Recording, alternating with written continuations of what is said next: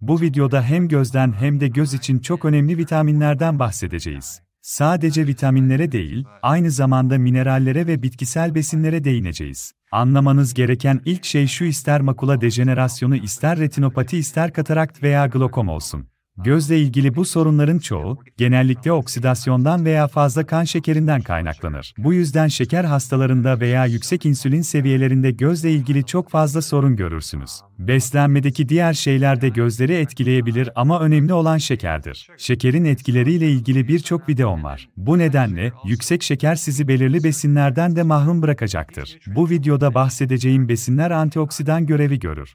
Yani, vücudunuzda bu besinlerden yeterince varsa, diyabet veya hiperglisemi komplikasyonlarını azaltacaktır ya da sahip olduğunuz her neyse, bu besinler temelde koruyucu özelliklere sahiptirler. En önemlisi A vitaminidir. A vitamini eksikliğinde birçok gözle ilgili problem yaşarsınız. A vitamini karanlıkta görmenize yardımcı olur.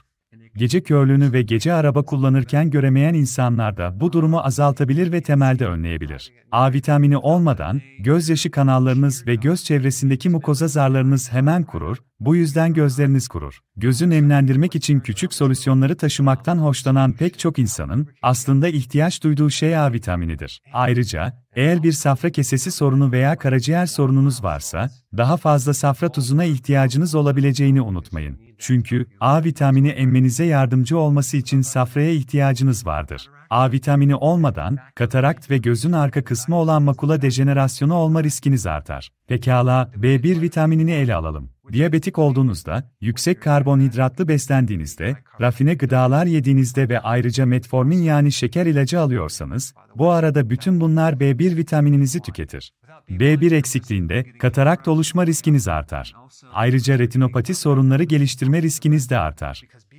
Çünkü B1 vitamini sinirlerinizin dış kaplaması, miyelin kılıfını sağlam tutmada rol oynar. Yani diyabetik kaynaklı herhangi bir tür periferik nöropati probleminiz varsa, B1 almanız gerekir. Fakat bu vitamini yağda çözünen bir formda almalısınız.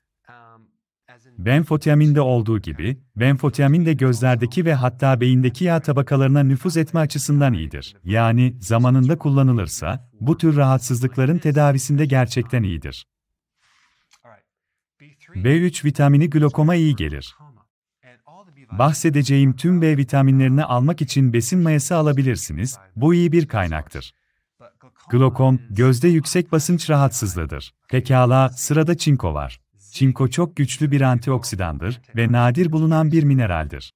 Gezegendeki 2 milyardan fazla insan çinko eksikliği yaşamaktadır. Aynı zamanda tarımda da yaygın bir eksikliktir. Bu yüzden en yaygın eksikliklerden biridir.